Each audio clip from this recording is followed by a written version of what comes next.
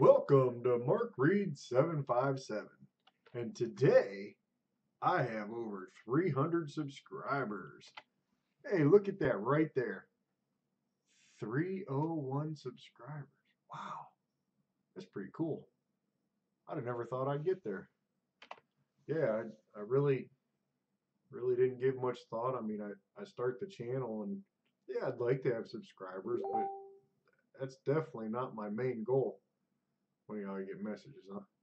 Uh, definitely not my main goal to get some subscribers, and the main goal is to get healthy, and I feel like I'm gonna get there.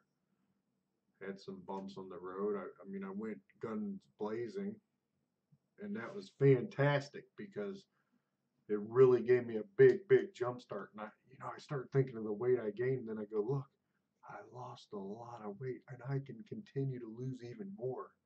And I really want to get down past the 100 pound mark. And it's taking a little longer than I expected, but that's okay because I'm still holding my head up high and I know it's going to be done. And I drank 15 glasses of water today. That's, uh, let's see, I'm not, mm, I drank 15 of them. All right. and the way I was counting them is eight ounces per glass. Uh, usually I was drinking 24 at a time, so that'd be three, three,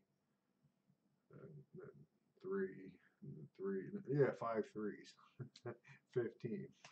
So five big 24 ounce cups, whatever, however you want to look at it. I drank 15 of them, so that's good.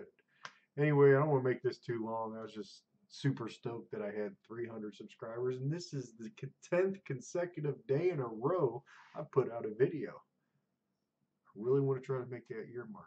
I know it's a monumental task, but if I can continue to do the videos, then I'll be able to continue to be on my weight loss journey, and I'll continue towards the success I know I can have. Anyway, until tomorrow.